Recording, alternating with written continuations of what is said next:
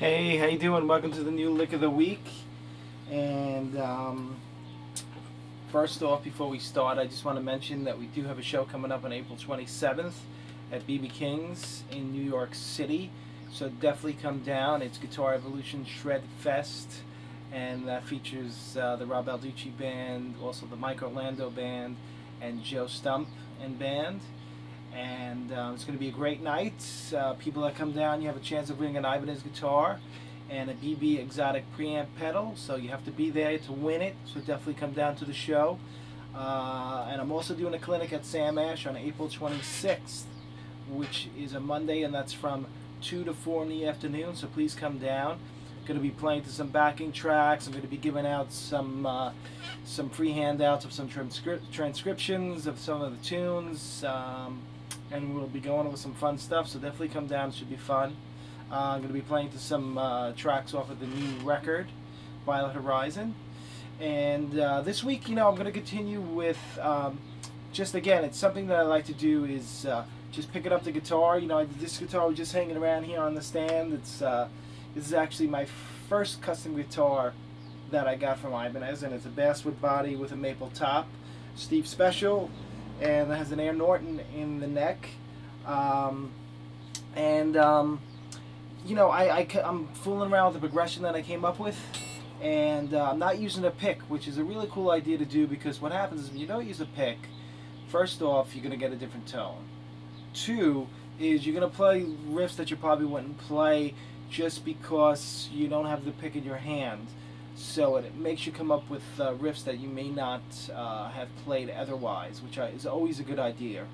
Um, and the tone, the tone of your, your fingers on the strings is a totally different than uh, with a pick. Uh, and I sometimes do that when I'm recording. I'll use my fingers to pick out the melody instead of a pick. Um, I did that on um, uh, Of the Earth off of uh, uh, The Color Light and a couple other songs. Um, and you know, I don't really have a specific technique. I'm just kind of winging it and picking with one finger and using the bar. And again, using the bar. Bar is a big part of my playing. It says Rob, it's always using the bar. Well, you know what?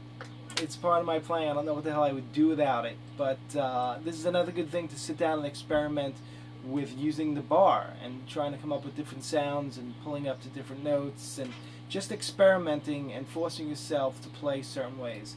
So there's a little song that I'm working on. Uh, it's basically done, but uh, it's just two chords from the from the from this new tune I'm working on.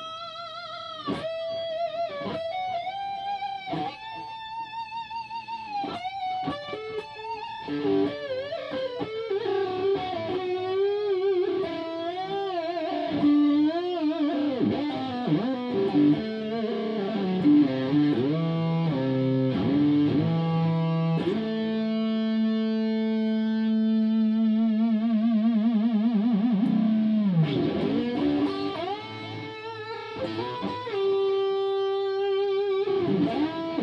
you.